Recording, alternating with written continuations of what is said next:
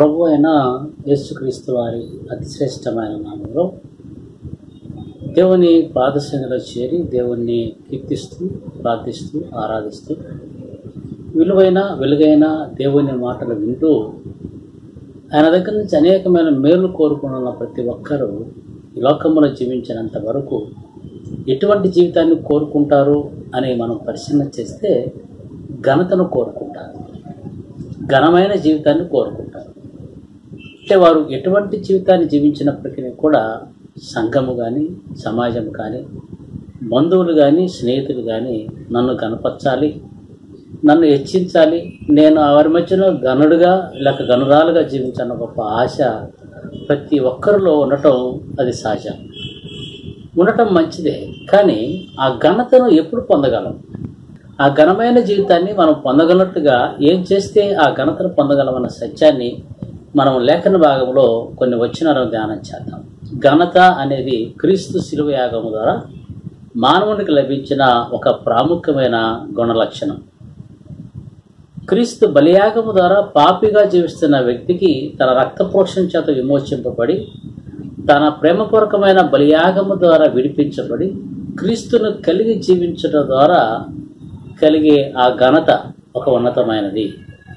అటువంటి ఘనతను కలిగి జీవించాలి అని అంటే లేఖన భాగం మనకు స్పష్టంగా తెలియపోతుంది అసలు క్రైస్తవుడికి ఏమిటి ఘనత? అంటే ఆస్తులు కలిగి ఉన్నట్టు ఘనత? ఎక్కువ మంది సంతానాన్ని కలిగి ఉన్నట్టు ఘనత? లేక లోకంలో పేరు ప్రఖ్యాతులు కలిగి ఉన్న ఘనత? ఏమిటి ఘనత? క్రైస్తవుల గురించి మనం పరిశీలన చేస్తున్నాం. ఎందుకనగా క్రీస్తును ఆరాధిస్తున్న మనం ఈ శిలువ ధ్యానాల ద్వారా దేవుని సన్నిధికి చేరుతున్నాం. దేవుని సన్నిధికి చేరిన మనకి ఘనమైన జీవితాన్ని ఇవ్వడానికి దేవుడు ఇష్టపడుతున్నాడు. అందుకనే క్రైస్తవులకు జీవిస్తున్న మనకి ఘనత ఏమిటి అన్నది పరిశీలన చేస్తే ఆస్తులు కలిగి ఉన్నట్టు ఘనత కాదు అధికారం కలిగి ఉంటే ఘనత కాదు పేరు ప్రఖ్యాతులు కలిగి ఉంటే ఘనత కాదు. ఎందుకనగా ఆ పేరు ప్రఖ్యాతులు అనేవి ఆస్తిపాస్తులు అనేవి లేక అధికారం అనేది రెండు రోజుల నుండి మూడో రోజు మాయమైంది. కానీ నిత్యం మనతో ఉండేది మనకు ఉండగలిగితే మన ఘనత ఏ విధంటే దావీదు పక్షుడు నూట నలభై తొమ్మిదవ కీర్తన ఒక మాట అంటున్నాడు చదువుదాం. క్రైస్తవులకు ఘనమైన జీవితాన్ని ఇచ్చేది కలగజేసేది ఏమిటి? ఎటువంటి ఘనతను కలగనట్టుగా దేవుడు మనకేమి ఇచ్చాడు అని అంటే అక్కడ అంటున్నాడు నూట నలభై తొమ్మిదవ కీర్తన తొమ్మిదవ వచనం. విధింపబడిన తీర్పు వారి మీద నడుపుటకును వారి చేతుల్లో రెండంచెల గల ఖడ్గమున్న ఉన్నది ఆయన భక్తులకందరికి ఘనత ఇదే. అంటే చేతిలో ఉన్న ఆ జీవ గ్రంథాన్ని బట్టి క్రైస్తవులకు ఘనత దేవుని యొక్క వాక్యంలో స్పష్టంగా తెలియకొస్తున్నమాట క్రైస్తవునికి ఘనత ఏమిటి ఆయన అంటున్నాడు వారి చేతులు రెండంచెల కలగా కట్కమున్నది ఉన్నది ఆయన భక్తులకు అందరికీ ఘనత అది. అంటే పరిశుద్ధ గ్రంథాన్ని చేత పట్టుకొని ఉండటం వలన అది ఘనతట.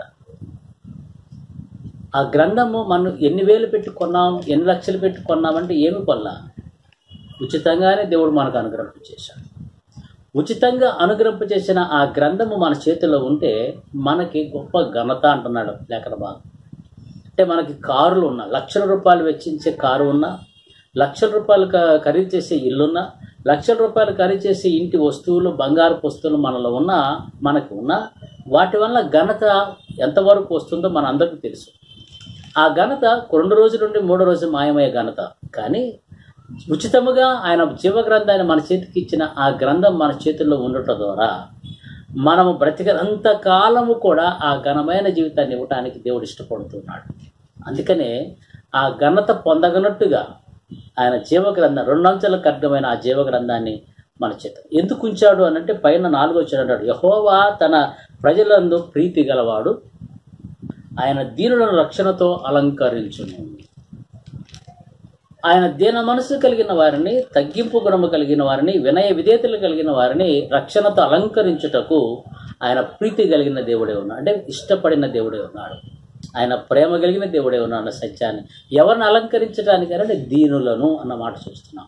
అంటే ఈ దీనులు పరిశుద్ధ గ్రంథాన్ని కొనలేని స్థితిలో ఉంటారు కనుక ఈ దీనులు పరిశుద్ధ గ్రంథాన్ని కొనడానికి ఆర్థిక స్తోమతలు కలగలేదు కనుక ఆదిలోనే అనేకులకు దరిద్రులు ఉన్నవారికి లేములు ఉన్నవారికి అన్య ఆ ఆర్థికపరమైన ఇబ్బందులు ఉన్నవారికి ఉచితంగా జీవ గ్రంథాన్ని అందించట జరిగింది. ఇప్పటికీ కూడా ఇప్పటికీ కూడా దేవుడు తన ఉచితమైన కృప చేత ఈ జీవ గ్రంథాన్ని ఉచితంగా అందిస్తున్నాడు. ఎందుకనగా ఎవరైతే ఇష్టపూర్వకంగా లేక ఎవరైతే ఆశతో ఆసక్తితో ఆ జీవ గ్రంథాన్ని చేత పట్టుకుంటారో వారు ఘనమైన జీవితాన్ని జీవించే అనుభవానికి రాగలరు. ఏమిటి అంటే పరిశుద్ధ గ్రంథాన్ని చేతపట్టి నువ్వు మందిరానికి వెళ్ళినా నువ్వు మీటింగులకు వెళ్ళినా అదే రీతిలో నువ్వు కోడికలకు వెళ్ళినా అదే రీతిలో దేవుడి ఒక ఉన్నతమైన రీతిలో అనేక రకాల ప్రార్థన కొడుకుల్లో పాల్గొన్న నీ గురించి అనేకులు చెప్పారు వీడు క్రైస్తవుడా? ఇది ఘనత. క్రైస్తవుని నామము క్రీస్తు నామం పెట్టబడిన ప్రజలకు ఘనమైన జీవితాలు దేని ద్వారా కలుగుతారంటే జీవ గ్రంథాన్ని చేత పట్టుకున్నట ద్వారానే నీవు క్రైస్తవుడని లోకము గుర్తిస్తుంది. ఎప్పుడైతే ఆ లోకము నీ క్రియలను బట్టి లేక నీ విశ్వాసాన్ని బట్టి నీ భక్తిని బట్టి కాదు సుమా. నీవు చేసే సత్క్రియలను బట్టి కాదు సుమా. నీ చేతుల జీవ గ్రంథాన్ని ఉంచుటను బట్టి నీవు క్రైస్తవుడు అన్న ఘనత దేవుడు మనకు అనుగ్రహం చేశాడు కనుక దేవుడు తన ఉచితమైన కృపచేత తెలియపరిచిన మాటను మనం ధ్యానం చేస్తాం. ఘనమైన జీవిత విధానం దేవుడు మనకు ఉచితంగానే ఇచ్చాడు. ఈ ఘనతను కోల్పోకుండా ఉండగలట్టుగా దేవుడు మనల్ని ఏం చేశాడు అనంటే విలువ పెట్టి కొన్నాడు మనల్ని. అందుకనే కోరింత మాట అంటాడు. చదువుదాం. కోరింత రాసిన మొదటి పత్రిక ఆరు ఇరవైలో అంటే విలువ పెట్టుకొనబడిన వారు కనుక మీ దేహముతో ఆయనను మహిమపరచుడి. అంటే జీవగ్రంథాన్ని చేత పట్టుకొని దేహముతో మనం ఏం చేయాలంటే ఆ శరీరముతో ఆ చేతులతో జీవగ్రంథాన్ని చేత పట్టుకొని దేవుణ్ణి మహింపరచు ఎలా అంటే వీడు క్రైస్తవుడే. వీడు నిజమైన క్రైస్తవుడే అన్న రీతిలో మన ప్రవర్తన విధానం మన దేహము ద్వారా అనేకులకు కనపరిచే వారిగా మనం ఉండాలి. ఎందుకు కనపరచాలంటే అక్కడ రాయబడిన మాట విలువ పెట్టి కొనబడిన వారు ఎటువంటి విలువ అంటే ఆయన రక్తమును ఇచ్చి కొన్నాడు. ఆయన పరిశుద్ధ రక్తాన్ని ఇచ్చి మనల్ని కొన్నాడు. ఆయన పాపులుగా జీవిస్తున్న ముళ్ళను చీకటిలో జీవిస్తున్న మనను లేక దేవునికి దూరస్తులుగా జీవిస్తున్న మనలను దేవునికి అన్యాక్రాంతమైన దేవుని దృష్టికి అన్యాక్రాంతముగా మనం పాడవుతున్న మన జీవితాన్ని వెలిగించడానికి తన రక్తాన్ని చిందించి పాపులు కొన్న మన కొరకు ఆయన రక్తాన్ని చిందించి ఆ రక్తము ద్వారా మనకు విమోచన కలగచేసి ఆ రక్తము ద్వారా మనల్ని కొని ఒక విలువైన జీవితాన్ని మనకి ఇచ్చాడు. ఆ విలువైన జీవిత విధానమే ఆయన చెప్తున్నమాట. జీవ గ్రంథము మన చేతలో అందుకని ఆ జీవ గ్రంథాన్ని చేతపట్టి దేహముతో అనగా మాట అంటే చేతులు దేనికి ఉన్నాయంటే దేహానికి శరీరానికి ఉన్నాయి. ఈ దేహముతో మనం విలుపెట్టుకున్నాం కాబట్టి ఈ దేవత దేవుని మహిమపరచాలి మహిమపరచడం అంటే ఎలాగంటే పరిశుద్ధ గ్రంథాన్ని పట్టుకొని ప్రతి కూడికకు మనం వెళ్ళాలి. ఈ రోజుల్లో విశ్వాసులు కొన్నవారు కానీ లేకపోతే యూత్ మీటింగ్లకు వెళ్ళేవారు కానీ లేకపోతే సంఘ పెద్దలు కానీ సంఘ పెద్దలుగా ఉన్నవారు ఎవరు కూడా బైబిల్ గ్రంథాన్ని పట్టుకొని మీటింగులకు వెళ్ళరు. కారణం ఏంటంటే నామోషిగా దాన్ని నామోషిగా తీసుకోవడం వల్ల వారి దేహముతో దేవుణ్ణి మహింపచ్చట్ల దేహముతో అవమానపరుస్తున్నారు. దేవుని జీవగ్రంథాన్ని చేత పట్టుకొని ఆయన దగ్గరికి వెళుతున్న విధాన్ని బట్టి దేవుడు మహింపరచబడతాన్న సత్యాన్ని లేక అరే నిన్నటి వరకు వీడు పాపే. అరే నిన్న వరకు వీడు మోసగాడే. నిన్నటి వరకు వీడు దేవునికి దూరస్తుడిగా ఉన్నాడే. నిన్నటి వరకు అక్కడ పడి ఇక్కడ పడి పొర్లేవాడే. ఇప్పుడేంటి పరిశుద్ధ గ్రంథాన్ని పట్టుకొని దేవుని దగ్గరికి వెళ్తున్నాడు? గ్రంథాన్ని జీవ గ్రంథాన్ని చేత పట్టి దేవుని మందిరానికి వెళ్తున్నాడని ఎవరైతే అతని గురించి వేరే వారు మాట్లాడతారో అప్పుడు దేవుని దేహముతో దేవుణ్ణి మహింపరిచినట్టే. అంతకుముందు నీ దేహాన్ని చెడు ప్రవర్తన ద్వారా దొరలబాటు చేత దేహాన్ని పాడు చేసుకుంటున్న నీవు నీకు జీవగ్రంథాన్ని పుచ్చుకోవడం ద్వారా నీకు వెలుగు ఇచ్చాను దేవుడు. ఆ వెలుగు కలిగిన నీవు దేవుణ్ణి మహింపచ్చే విధానం కలిగి ఉండాలి. కనుక విలువ పెట్టి కొనబడిన ఆ జీవిత విధానానికి మనము ఘనమైన జీవితాన్ని జీవించే రీతిలో ఆయన మహింపరచబడాలి క్రైస్తవులుగా జీవిస్తున్న మనకి ఆ ఘనమైన జీవితం దేన్ని బట్టి కలుగుతుంది అన్నది ఒక పరిశ్రమ. ఘనత కోరుకుంటున్నాం మనం. పరిశుద్ధ గ్రంథాన్ని పట్టి చేతి చేకి వెళ్ళా. లేక సంఘంలో నాయకులుగా ఉన్నా లేక సంఘ కాపురులుగా ఉన్నా లేక విశ్వాసులుగా ఉన్న దేవుని దగ్గర నుంచే కానీ మనుషుల దగ్గర నుంచే మనం కోరుకునేది ఏంటంటే ఘనత. కానీ మనుషుల దగ్గర నుంచి ఘనత ఈ రోజు ఉంటుంది రేపు నయమైంది కానీ దేవుని దగ్గర నుంచి పొందగలిగిన ఘనత మన జీవిత కాలం అంతా కూడా ఉండగలిగినట్లుగా ఏం చేయాలి? ఎటువంటికి ఆ ఘనత ఇస్తాడు అని అంటే సొలొమోను మహారాజు జ్ఞాని అయిన మహారాజు కొన్ని మాటలు చెప్తున్నాడు దయచేసి వినాలని కోరుతున్నాను. ఘనత అనేది ఏ విధంగా పొందగలం? మూడు నాలుగు క్రియలను అనేక కారణాలు ఉన్నాయి. కొన్ని కొన్ని కారణాలు సమయాభావాన్ని బట్టి కొన్ని కారణాలను లేఖన భాగంతో మనం ధ్యానించాలి మొట్టమొదటిగా సామెత గ్రంథం పదమూడవ అధ్యాయము పద్దెనిమిది వచ్చినాన్ని చూద్దాం శిక్షను ఉపేక్షించడానికి అవమాన దారిద్ర్యతలు ప్రాప్తించను. గద్దింపును లక్ష్య పెట్టువాడు ఘనత నొందును మొట్టమొదటి క్రియ గురించి చెప్తున్నాడు అక్కడ. గద్దింపును లక్ష్య పెట్టువాడు ఘనతనందును. ఈ గద్దింపు కలిగి ల- గద్దించినప్పుడు ఒక సేవకుడు ఒక వ్యక్తి పాపం చేసినప్పుడు ఒక సేవకుడు గద్దించినప్పుడు ఎవరు లక్ష్యం ఉంచారు ఎవరు లక్ష్యం ఉంచడం ద్వారా తన తప్పును సరిదిద్దుకుంటారు ప్రాయచిత్త పడ్డారు ప్రాయచిత్త పడి గద్దెంపునకు లోబడ్డారు. లోబడటం ద్వారా ఇప్పటికీ వారి గురించి ఘనమైన జీవితాన్ని జీవించారని మనం చెప్పుకున్నామంటే ఇద్దరు వ్యక్తుల గురించి మనం ఒకటి దావీదు రెండు సౌలు. దావీదు మహారాజుకున్న వ్యక్తి తన కంటి చూపు వల్ల మోహపు చూపులో ఒక స్త్రీని మోహించి తన పాపానికి పారసుడుగా ఒక నీతివంతమైన జీవితాన్ని దేవుని దృష్టికి ఒక హృదయానుసారుడిగా జీవించిన వ్యక్తి శరీరాశకు లోబడిన వ్యక్తిగా ఉండి పాపములో పడిపోయాడు. పాపములో పడిపోయిన తర్వాత తన దగ్గరికి ఒక వ్యక్తిని పంపించాడు దేవుడు. ఎందుకనగా ఏ పాపిని దేవుడు ఊరుకో ఊరు విడిచిపెట్టడు. వాడి పాపి కదా వాడు తాగుపోతు కదా వాడు వ్యభిచారి కదా వాడు మోసగాడు కదా అని దేవుడు వాడిని వదిలిపెట్టడు. వదిలిపెట్టకుండా ఏం చేస్తాడంటే ఎవరో ఒకరి ద్వారా వారిని గద్దింపును కలగచేస్తాడు అది మనుషులే కావచ్చు అది కష్టమే కావచ్చు అది బలహీనతే కావచ్చు లేకపోతే సమస్య కావచ్చు ఏదో ఒక రీతిలో దేవుడు గద్దింపు కలగచేస్తాడు అయితే దావీదు దగ్గరికి ఎవరు పంపించాడంటే ఒక వ్యక్తిని పంపించాడు. నాతాను అనబడిన వ్యక్తిని పంపించి ఒక హెచ్చరిక చేశాడు ఆయన. గద్దించాడు అయ్యా ఒక వ్యక్తి ఇలా తప్పు చేశాడు పాపం చేశాడు. ఆ వ్యక్తికి ఎటువంటి శిక్ష అంటే అతను మరణానికి పాత్రుడని దావీదు తీర్పిస్తాడు. కానీ ఇంతకీ ఎవరు ఆ తప్పు చేసిందనంటే నీవే అని ఎప్పుడైతే ఆ ప్రవక్త చెప్పాడో అతను పశ్చాత్తాపడిన విధానం మనం చూస్తున్నాం. అంటే గద్దింపు ఏ విధంగా అంటే నువ్వు తప్పు చేసావు నువ్వు మారు మనసు పొందని చెప్పరు. అయ్యా నీ తప్పు ఇలా ఉంది కనుక నువ్వు మారు మనసు నువ్వు సరి చేసుకో నీ జీవితాన్ని సరి చేసుకో. నీ తప్పును సరి చేసుకో. నువ్వు చేసిన తప్పు వల్ల నీ కుటుంబం ఎటువంటి స్థితి కలిగిందని అనేక మంది సేవకులు మనకు చెప్తున్నప్పుడు మనం దాన్ని లక్ష్య పెట్టగలిగితే ఘనతను దేవుడిస్తాడు అందుకని అక్కడ అంటాడు గద్దింపును లక్ష్య పెట్టువాడు ఘనతనందును.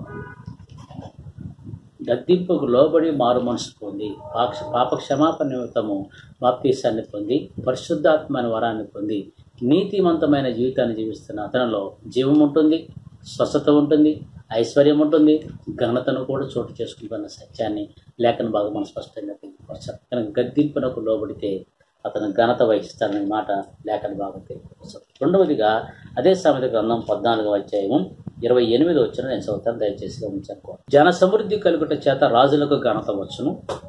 జనక్షేము రాజులకు వినాశనకరం జన సమృద్ధి అంటే ప్రజలు సమృద్ధికరంగా ఉండాలి. జనులు అభివృద్ధి చెందేవారిగా ఉండాలి.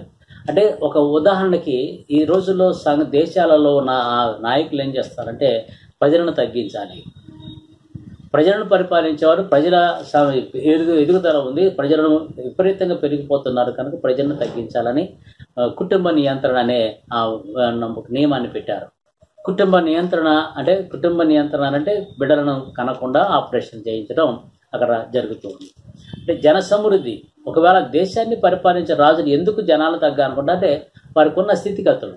పంటలు లేవు అదే రీతిలో ఆర్థిక స్థామత లేదు వీటన్నిటి బట్టి ప్రభుత్వం పరిపాలించే వారు ఏమనుకుంటారంటే జన సమృద్ధి తగ్గాలి జన క్షయముగా ఉండాలన్న ఆలోచన వాళ్ళు చేస్తారు. అదే సంఘం దగ్గరకు వచ్చరికి ఎలా ఉండాలంటే జన సమృద్ధి కావాలి సంఘం అభివృద్ధి కావాలి. అనేకమైన ఆత్మను రక్షించడానికి అనేక అనేజనులకు ప్రార్థన మందిరంగా తీర్చిదిద్దుకున్నట్టుగా అనేకలు దేవుని మందిరంలోకి నడిపించేవారుగా మనం ఉండాలి. అలా నడిపించగలిగితే అటువంటి వారికి నెమ్మది అన్నాడు ఇక్కడ రాజులకు అన్నాడు జన జన సమృద్ధి కలుగుట చేత రాజులకు ఘనత వహించడం. ఇంకంటాడు జనక్షయం రాజులకు వినాశనకరం సంఘము క్షీణించిపోయినా సంఘము చెదిరిపోయినా అది సంఘము దాకా కుటుంబము క్షీణించిపోయినా ఆ కుటుంబ యజమానికి ఏమి జరుగుద్ది అంటే అక్కడ రాయబడిన మాట వినాశనకరమే అంటే నాశనం కాదు కానీ అక్కడ బాధలు కష్టాలు దిగులు చింత అవమానం జరుగుతుంది అదే కుటుంబం అంతా కలిసి ఉమ్మడి కుటుంబంగా జీవిస్తే ఎలా ఉంటుందంటే ఆ కుటుంబానికి ఘనత వహిస్తుంది సంఘము కూడా అదే స్థితిలో ఉండాలి. సంఘమంతా కూడా ఏకహృదయముతో దేవుణ్ణి ఆరాధించే ఐక్యత కావాలి. చెదిరిపోయినా లేకపోతే అవమానకరంగా జీవించడానికి ఇష్టపడి దూరస్తులుగా అయినా లేక వారికి గౌరవం లేదని మర్యాద లేదని సంఘాన్ని విడిచి వెళ్ళిపోయినా వారిని సమకూర్చడానికి ప్రయత్నం చేసే నాయకులు కావాలి. అటువంటి నాయకులు ఉండటం ద్వారా నాయకులకు ఘనత ఆ సంఘానికి ఘనత అనే మాట అక్కడ రాయబడుతున్న మాట మనం చూస్తున్నాం. మూడవది దేన్ని బట్టి ఘనత వస్తుందంటే సామెత గ్రంథం పంతొమ్మిదవ అధ్యాయము పదకొండవ వచ్చినాన్ని లేఖన భాగం మనం స్పష్టంగా చూద్దాం. ఒకరిని సుపుత్తి వానికి సుదే ఆ, దీర్ఘశాంతమునిచ్చను తప్పులు క్షమించట అట్టి వానికి ఘనత తండ్రి అయిన దేవుడి లోకములో పాపులుగా జీవిస్తున్న ప్రతి ఒక్కరిని క్షమిస్తూనే ఉన్నాడు ఆయన ఆయనకి ఎటువంటి ఘనత ఉన్నది అని అంటే లోకము అవమానకరంగా ఆయన చేసిన ఆయన ప్రేమను బట్టి ఆయన ఘనత వహించిన దేవుడు ఆయన. జీవ గ్రంథాన్ని కానీ క్రైస్తవుని కానీ దేవుని నామాన్నే కానీ అవమానకరంగా మాట్లాడినప్పటికీ కూడా ఆయన అటువంటి వారిని క్షమించుట ద్వారా వారి తప్పులను క్షమించడం ద్వారా ఆ తండ్రి అయిన దేవునికే కాక పరిశుద్ధాత్మ దేవునికి కూడా ఘనతను ఆపాదిస్తున్నారు మనము కూడా తప్పులను క్షమించగలిగితే మన బిడ్డలని అనేక తప్పులు చేస్తున్నప్పుడు మనం క్షమిస్తూ ఉంటాం. కానీ మన తోటి వారు తప్పు చేస్తే క్షమించలేము కారణం ఏమిటి అని అంటే కన్న ప్రేమ. ఈ కన్న ప్రేమ ఎవరిలో చూపిస్తున్నాడంటే విలువ పెట్టి కొనబడిన మనలను మనం చేసిన తప్పులను బట్టి ఆయన క్షమిస్తూనే ఉన్నాడు. మన విశ్వాస జీవితంలో కూడా మనం తప్పు పట్టిన వారమంటే మనం కూడా క్షమించేవారుగా మనం ఉండాలి. ఎవరినంటే మన తోటి వారిని. మన తోటి విశ్వాసులను మన తోటి నాయకులను మన తోటి కాపర్లను. మనం క్షమించగలిగిన వారం ఉండగలిగితే దేవుడు ఘనమైన జీవితాన్ని ఇస్తాడు చెప్పిన మాట. లేఖన భాగాలు మనం చూస్తుందా ఒకటి గద్దింపును లక్ష్యం చేయటం ద్వారా ఘనత జన సమృద్ధి కొరకు ప్రయాసపడ్డ ద్వారా ఘనత మూడవది తప్పులను క్షమించడం ద్వారా ఘనత. ఎవరి తప్పులు క్షమించాడు దేవుడు అంటే దావి తప్పును క్షమించాడు రాజరికాన్ని కొనసాగించాడు. అదే రీతిలో సౌలు తప్పును క్షమించాడు ఒక ఉన్నతమైన రీతిలో ఆయన వాడుకోవటానికి దాని తన- కొరకు శ్రమపడటానికి యేసుక్రీస్తు కొరకు యేసుక్రీస్తు యొక్క సంఘం కొరకు బ్రతకటానికి ఒక ఉన్నతమైన క్షమాభిక్ష సౌలుకి కలిగింది. సౌలుకి కలిగిన తర్వాత పౌలుగా మార్చబడి విశ్వాసయుతమైన జీవితాన్ని జీవించిన వ్యక్తిగా ఉన్నాడు. క్షమించబడిన విధానం వారినే కాదు సుమా నిన్ను నన్ను కూడా క్షమిస్తున్నాడు ఆయన. నిన్ను నన్ను కూడా మన పాప విమోచన నుండి క్షమించి ఆయన విమోచనకరమైన జీవితాన్ని ఇచ్చాడు. మన పాపాలను మన అవిధేయతను అవిశ్వాసాన్ని క్షమిస్తూనే దీర్ఘశాంతం కలిగిన దేవుడు అండి మనను క్షమిస్తూనే ఉన్నాడు. క్షమించుచున్న విధానం బట్టి మనము గణ్య ఘనత వహించగలిగినట్లుగా దేవుడు యేసుక్రీస్తు ప్రభు వారు మన పాపను ఏ విధంగా అయితే క్షమిస్తున్నాడు మన కన్నతల్లిదండ్రులు మన తప్పులను ఏ విధంగా అయితే క్షమిస్తూ ఉన్నారో అదే రీతిలో మన తోటి విశ్వాస మన తోటి నాయకుల యొక్క తప్పులను కూడా మనం క్షమించగలుగుతూ వారితో సత్సంబంధాన్ని కలిగి జీవించే ఆ ప్రేమపూర్వకమైన స్వభావాన్ని కలిగి జీవిస్తే ఆటోమేటిక్గా దేవుడు మనకు ఘనత ఇస్తాడు అదే రీతిలో నాలుగో కారణం చూద్దాం. సామెత గ్రంథం ఇరవై వచ్చాయి మూడవ వచ్చినాన్ని చదువుతాం ఇక్కడ అన్నాడు కలహమునకు దూరముగా నుండట నరులకు ఘనత. ఇంకో మాట అన్నాడు కలహములకు దూరముగా నుండట నరులకు ఘనత. మూర్ఖుడైన ప్రతి వాడును కోరునే కోరును దేవుని మాకు కలహమునకు దూరముగా ఉండుట ఘనతట సంఘాలలో అనేకమైన రకాలైన సమాజం సమ ఆ వివాదాలు జరుగుతున్నాయి కలహాలు జరుగుతున్నాయి. సంఘములలో అదే రీతిలో కుటుంబ క్రైస్తవ కుటుంబాలలో అనేక రకాల కలహాలు జరుగుతున్నాయి. ఆస్తిపాస్తుల గురించి డబ్బు పంపకాల గురించి లేకపోతే అనేక రకాల ప్రేమపూర్వకమైన స్వభావం ఇది వాడిట్లా వీడిట్లా అన్న ఆలోచనతో కలహాలు కలుగుతాయి ఈ కలహాలకు దూరముగా ఉండగలిగితే ఘనత అంటే కలహాలను రేకెత్తించేవాడు ఎవడంటే మూర్ఖుడు అంటున్నమాట అక్కడ చూస్తున్నాం. గొడవలకు ఇష్టపడేవారు ఎవరు? గొడవను రేకెత్తి రేకెత్తించేవారు ఎవరంటే మూర్ఖుడైన ప్రతి వాడును పోరునే కోరునే మూర్ఖుడైన ప్రతివాడు పోరంటే కలహాలకే గొడవ గొడవలకే దిగుతాడే తప్ప వారు కలహములకు దూరంగా ఉండటానికి కానీ లేక గొడవలను ఆపటానికి కానీ ప్రయత్నం చేసేవాడుగా ఉండడు.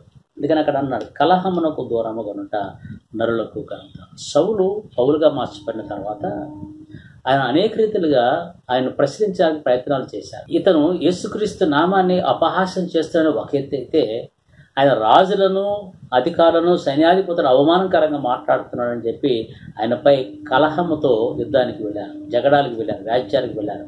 ఆ సమయంలో పౌలు చేసిన పని ఏమిటి తెలుసా? వారి దగ్గర నుంచి దూరంగా వెళ్ళిపోయాడు పౌరు జీవితంలోనే కాదు సుమ యేసుక్రీస్తు ప్రభు వారు కూడా లోకంలో జీవించినప్పుడు ఆయన ద్వారా అనేకమైన అద్భుత కార్యాలు రుచి చూశారు వారు.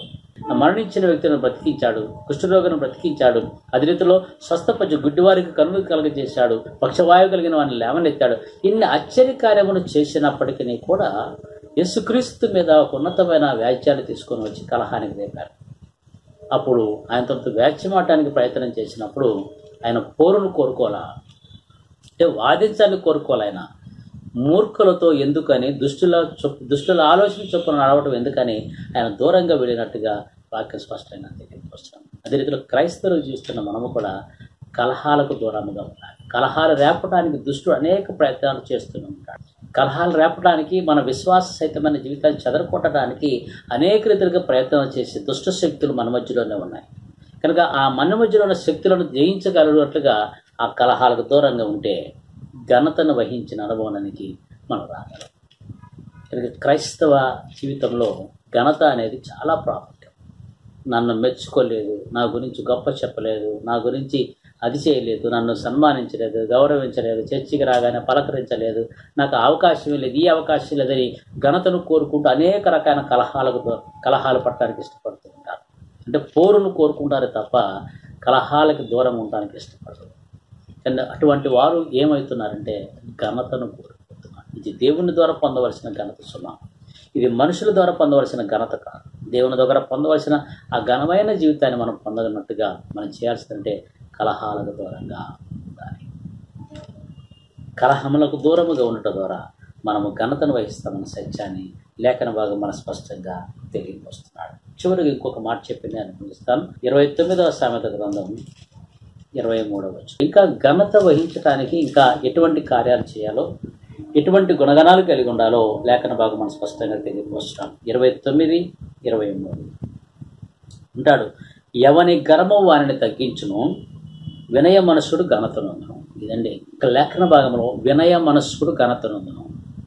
వినయాన్ని కలిగిన వ్యక్తులు ఎవరున్నారు పరిశుద్ధ గ్రంథములు అంటే యోసేపు.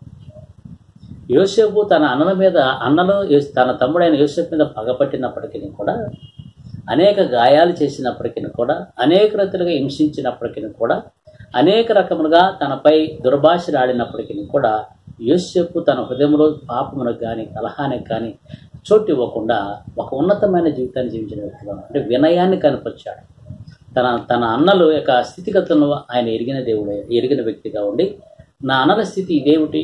నా అన్నలు నాకు నమస్కరించవలసినట్లుగా దేవుడు నాకు దర్శనాన్ని ఇచ్చాడు కదా.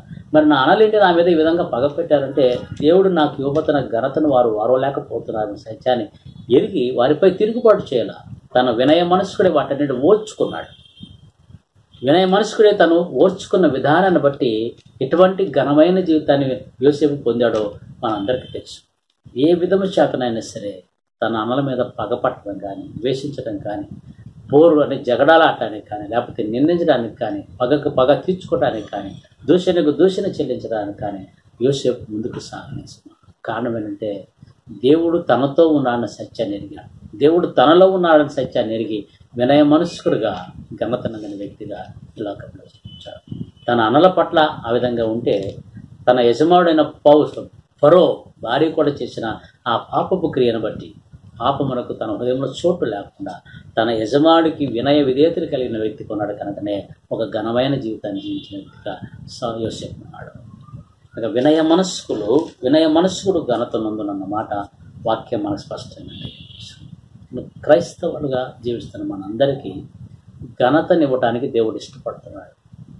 ఈ ఘనత దేన్ని బట్టి అంటే పరిశుద్ధ గ్రంథాన్ని చేతపట్టిన మనం. లేక క్రీస్తు శరీరం అనబడిన అవయవంలో చేర్చబడిన మనం సంఘంలో చేర్చబడిన మన అందరం కూడా గద్దింపును తిరస్కరించేవారు కాకుండా గద్దింపును లక్ష్య పెట్టేవారుగా ఉండాలి. ఎందుకనగా ఏ సేవకుడు ఏ విధంగా మనల్ని గద్దిస్తాడో తెలియదు వ్యక్తిగతంగా పేరు పెట్టి నువ్వు పాపివి నువ్వు మోసగాడివి నువ్వు అబద్ధకుడు ఎవరు చెప్పరు. కానీ అక్కడ చెప్పబడుతున్న మాటలను బట్టి నన్ను బట్టే నా దేవుడు నాతో మాట్లాడుతున్నానని ఆ గద్దింపును లక్ష్య పెట్టగలిగితే నీవు ఘనత ఇస్తావు రెండోది జన సమృద్ధి కలుగునట్టుగా నువ్వు ప్రయాసపడగలిగితే. జన సమృద్ధి కలిగినట్టుగా అంటే సంఘ అభివృద్ధి కలిగినట్టుగా నువ్వు ప్రయాస కలిగితే నీ వంతు సహకారం అందించగలిగితే నీవు ఘనతను వహించేవాడిగా ఉంటావు. మూడవది నీవు తప్పులను క్షమించగలిగితే. ఒకవేళ నీ పట్ల ఎవరైనా తప్పు చేసినా లేకపోతే నీ పట్ల అన్యాయంగా మాట్లాడినా లేక అనా అకారణంగా నిన్ను నిందించినా వారిని క్షమించగలిగితే నీవు ఘనత వహిస్తావు. నీ మీద కలహాలు రేపడానికి ఇష్టపడతాను. అటువంటి కలహాలకు నువ్వు దూరంగా ఉండగలిగితే నువ్వు ఘనత వీటన్నిటిని బట్టి వీటన్నిటికీ మనం కలిగి ఉండాలంట అంటే కలహాలకు దూరంగా ఉండాలన్నా తప్పులు క్షమించాలన్నా జన సమృద్ధి కొరకు ప్రయాసపడాలన్నా గద్దింపును లక్ష్య పెట్టేవారు ఉండాలంటే నీలో నాలో ఉండవలసిందంటే యేసుక్రీస్తు ప్రభువాలో ఉన్న ఆ వినయ మనస్సు ఆ విధేయత మనం ఉండాలి. ఎలా కలుగుద్దంటే శ్రమలను బట్టి నీ శ్రమలు పొందుతున్న విధానం బట్టి విధేయత నేర్చుకోవాలి. ఎవరు నేర్చుకున్నారు అంటే యేసు ప్రభు వారు నేర్చుకున్నారు విధేయత. ఈ విధేయత మనం కలిగి జీవించగలిగితే ఘనతను దేవుడు ఇస్తాన్న సత్యాన్ని లేఖన భాగం స్పష్టంగా తెలియపరుస్తుంది. నిజమైన ఘనత ఏమిటంటే ఆయన జీవ గ్రంథాన్ని మన చేతిలో ఉంచితే ఆయన ఇచ్చిన గ్రంథాన్ని. ఎందుకనగా ఆయన మన పట్ల ప్రీతి కలిగిన దేవుడే ఉండి దీనులుగా జీవిస్తున్న మనను రక్షణతో సంతోష అలంకరించడానికి ఇష్టపడుతున్నాడు. ఇష్టపడుతున్న ఆ దేవుని ఇష్టాన్ని మనం నెరవేర్చే వారిగా మనం ఉండాలంటే ఈ ఘనత వహించే రీతిలో చెప్పబడిన ఆ మాటలను జ్ఞాపకం లక్ష్యం ఉంచుదాం. దీని గద్దింపు ఎందు లక్ష్యం ఉంచుదాం. జన సమృద్ధి కొరకు సంఘ అభివృద్ధి కొరకు ప్రయాసపడదాం. తప్పులను క్షమించుటకు మనం ఇష్టపడదాం. కలహమునకు దూరముగా ఉండగలిగినట్లుగా ప్రయత్నం చేద్దాం. చివరిగా ఆయన అన్నాడు వినయ మనస్కుడు ఘనతను అందే విధానం. అంటే విధేయత కలిగి జీవించే విధానాన్ని అలవచ్చు. దేవుడు తన ఉచితమైన కృప చేత తన ఆత్మ ద్వారా మనకి ఘనమైన జీవితాన్ని తన రక్త ప్రోక్షణ చేత నీకు నాకు అనుగ్రహం చేసి కాపాడి సంరక్షించిన గాక. ఆమె దేవుడి మాటలు మనలో నీటి కట్టి పని యేసుక్రీస్తు నామములో మీ అందరికీ వందనములు. దేవుని యొక్క పిలుపును బట్టి తెలుగేతర రాష్ట్రమైన కర్ణాటకలో గడిచిన అనేక సంవత్సరం నుంచి సేవ చేయుటకు ప్రభు నడిపించిన విధానం బట్టి ప్రభును స్థుతిస్తూ ఉన్నాను. రెండు వేల పదిహేడు వరకు అనేక సంస్థలలో అనేక విధమైన పరిచయలు చేసి ఎన్నో ప్రార్థనల తర్వాత ప్రభు తెరిచిన ఒక ద్వారమును బట్టి హెబ్బగుడి అనే ప్రాంతంలో సౌత్ బెంగళూరులో మందిర పరిచయ కొరకు దేవుడు ఒక చక్కటి ద్వారాన్ని తెరిచాడు. ఒక రెండు కుటుంబాలతోటి ఆ యొక్క మందిర పరిచయను ప్రారంభించి రెండు వేల పదిహేడులో తొలి దినాలలో ఈ సిటీ తెలుగు చర్చ్ అనే పేరుతో పరిచయను జరిగిస్తూ వచ్చాం. దేవుడు ఎంతో ఆశ్చర్యకరముగా అనేక కుటుంబాలని మందిరములో చేర్చి వచ్చాడు. తర్వాత దినాలలో పరిచయకు Hosanna ministries Hosanna Telugu church అనే పేరుతో ఈ యొక్క పరిచయను కొనసాగిస్తూ ఉన్నాం. హోసేను అనగా దేవుని నామములో ఒక నామము రూపించు దేవుడు. అనగా ఈనాడు మనం ఉన్నటువంటి జీవితాలు ఇలాగే ఉంటాయని కాదు. మన జీవితాలు నిత్యము దేవుని హస్తముల ద్వారా నూతనముగా రూపించబడాలి అనే ఉద్దేశముతో ఈ నామము నుంచి పరిచయం కొనసాగిస్తూ ఉన్నాం. అనేక కుటుంబాలు చర్చ్ బట్టు ద్వారా ప్రస్తుతము అద్దెకు హాల్ తీసుకొని నడిపించబడుతున్నటువంటి స్థలము చాలకపోవటం ద్వారా మందిరం యొక్క అవసరతను బట్టి గడిచిన సంవత్సరాలలో చేసినటువంటి అనేక ప్రార్థనలు వాటికి ప్రతిగా ప్రభు ఒక స్థలమును మాకు చూపించి ఉన్నాడు. దేవుని యొక్క కృపను బట్టి భారమును బట్టి ఇక హెబ్బగుడి ప్రాంతంలో తెలుగు మరియు కన్నడ ప్రజల మధ్య మందిర స్థల సేకరణ మరియు నిర్మాణము చేయుట కొరకు ఈ గొప్ప పనిని చేయుటకు పూనుకొని ఉన్నాము. అయితే దేవుడు చూపించినటువంటి ఈ మూడు వేల చదరపు అడుగుల స్థలమును మరి కొనుగోలు చేయుటకు అదే రీతిగా అక్కడ మందిర నిర్మాణం చేయుటకు మీ అందరి సహకారములు విరాళములు నాకు ఎంతగానో అవసరమై ఉన్నవి. ప్రార్థనలతో దేవుని ప్రేరేపణతో ఈ యొక్క పరిచర్యలో పాలిభాగస్తులు కావాలని ప్రేమపూర్వకంగా కోరుకొనిచున్నాను. ఒకవేళ మీ ప్రేరేపించబడిన వారు ఎవరైనా ఉంటున్నట్లయితే అందించబడినటువంటి వివరములు సంప్రదించండి.